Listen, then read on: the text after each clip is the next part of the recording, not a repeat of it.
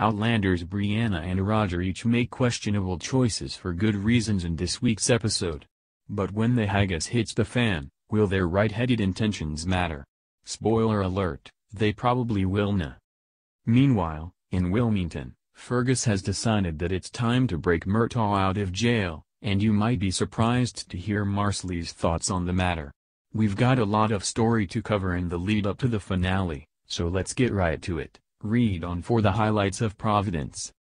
Roger makes a friend. Roger is still walking down the Mohawk path of pain at the start of the episode, and when a blow lands particularly well, he goes down yelling. Eventually, one of the men stops the beating, but informs Roger that he is a captive in the camp. Later, we watch Roger get ordered around by a stern, female member of the tribe, but not everyone is so angry at him. Another, younger woman holding a baby approaches and asks if he speaks French. He enthusiastically says oui, and she hands him a fistful of herbs to chew for the pain in his torn-up arm. A desperate Roger asks for help escaping the camp, but before anything can happen, the Mohawk man wearing the red coat approaches. We learn that his name is Kaheroton, her name is Johiehon, and that he is not a fan of Roger speaking with her, likely because Kaheroton seems kinda sweet on the young mother. After the trio's terse interaction, Roger is thrown into a darkened hut. He lands on his bad arm, then sits up and chews the herbs, probably mentally bemoaning his fate. He's shocked to hear a soft voice say, Bonjour behind him. The tribe's other prisoner is a Catholic priest named Father Alexander Ferigault. You're the man they have christened Dogface, he tells Roger in English, adding that they're in a village called Shadow Lake in New York. At that, Roger just about loses it, doing a mix of hysterical crying laughing, because he walked far. Look out for number one, as the men talk, Father Alexander's story comes out. He arrived at the camp years ago with the intention of converting some of the Mohawk to Catholicism, and he was successful. He lived with the tribe for a while but then became very ill, he wound up falling in love with one of the tribe's women who cared for him. Then, after I recovered, there was sin, he says quietly, which is perhaps the least sexy way consensual sex has ever been described on this show. Anyway, the woman got pregnant and the Mohawk were fine with the whole shebang provided Alexander baptize his child. And there's the rub. I have broken faith with my God and my calling. I know that I am damned. I will not also damn this child with the false blessing of a fallen priest, he tells Roger, who encourages him to just drip some water on the baby's head and mutter something in Latin, because the Mohawk won't be any wiser. But the man of God refuses. He's later stripped naked and removed from the hut, when he returns, he's saint-like in that he's missing his ear and, like George Weasley, is now holy. Once the priest has recovered enough to speak, he tells Roger that he once more refused to baptize his child. If he doesn't change his mind by morning, he adds, the Mohawk will set his feet on fire and keep burning him that way until he dies. Still, Alexander is steadfast in his decision, saying that the death will be punishment for his sin. Roger, on the other hand, thinks that is ridiculous, and says so. Loudly. And often. You know how you can say you're an idiot? Because I've been an idiot myself, he begins, launching into the story of how he pursued Bree through time and space and wound up eschewing a trip through the stones, though he's not very detailed about that part, obviously, in order to try to find her. Roger understands Ferigault's feelings, he adds, but the difference is, I've learned something from my pain. I've changed. Look out for number one. From now on, that's me.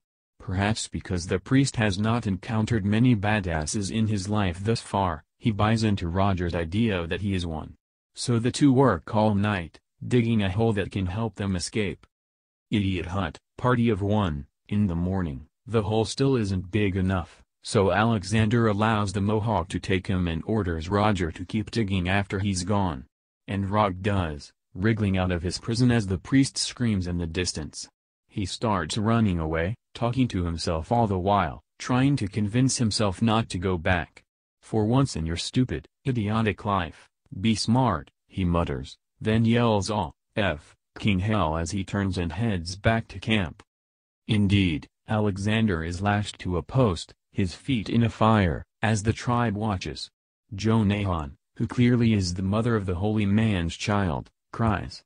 So Roger runs in and throws a barrel of spirits into the fire, creating a blaze that will put the priest out of his misery far faster than the Mohawks' preferred method.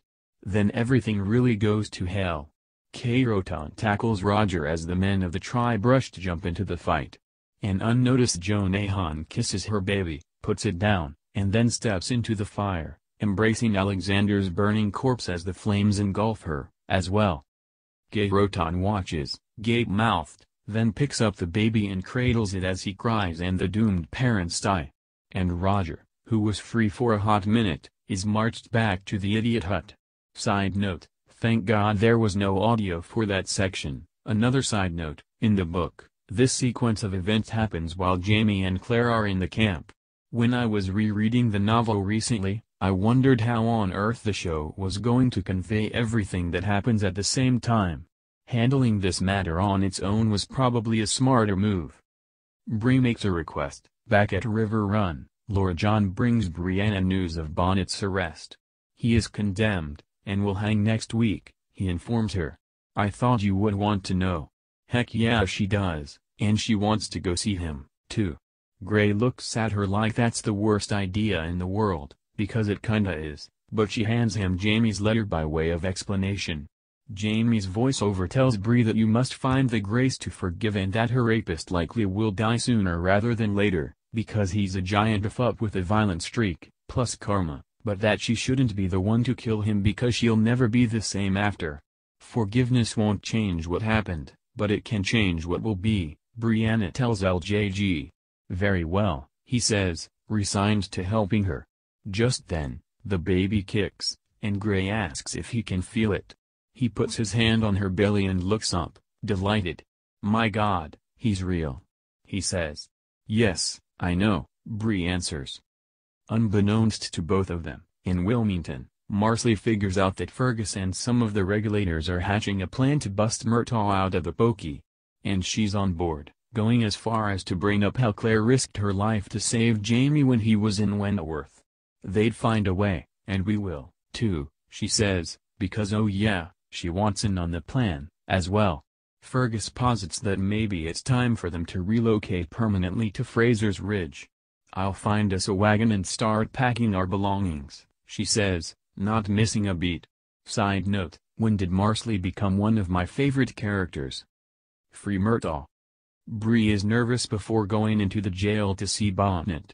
She'd be a lot more nervous if she knew her brother were laying down fat lines of gunpowder along the building's perimeter but I digress.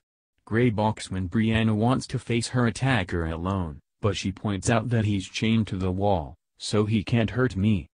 When she's in front of Bonnet, Brianna tells him her name as well as who her parents are. They saved your life, and you robbed them, she adds. Yes, he says, unrepentant, goading her a bit. She's a little unnerved but she shows him her belly and says what she's there to say, you are going to die to hang by the neck until you're dead. And if it if makes dying easier for you, to know there's something of you left on this earth, then you're welcome to the knowledge. He notes that he won't be forgotten, and she sharply corrects him, saying, My baby will never know your name, will never know you existed. Before she leaves, he digs into his mouth and pulls out something, a gemstone, for his maintenance. And then things go kerflooey before they go kablam. Fergus and the regulators show up, knocking out a guard and holding Greg captive. Grey recognizes Fergus and they have an awkward conversation that ends with Ferg telling his men not to hurt LGAG but not to let him leave, because his allegiance is to Governor Tryon. Fergus frees Murtagh and runs into Brianna, but Fergus is like, no time to waste. The gunpowder has been lit. They all flee, leaving Bonnet to die in the explosion that will serve as a diversion while they get away. But at the last moment, the blonde prisoner gets a hold of the keys to his chains, which were dropped conveniently close to his cell in the chaos. Did he make it out? The episode leaves it up in the air. Side note, this is the scene I referred to in this week's Ask Yellow as being simplified from the book's version, and better for it. Another side note, If you'd like to dive into the is bonnet worse than Black Jack? Conversation, check this out. Fergus, Murtagh and the men dive under the cover of Marsali's carriage, and she makes a very fine wee woman indeed as she drives them out of town. A redcoat stops Brian Gray to ask if the regulators gave any clue about where they were heading. And even though Grey knows full well the escapees are heading to Fraser's Ridge, he outright lies to the soldier in order to help Murtagh. Oh, Lord John. What Bree says earlier in the episode is true, you are impossible not to like.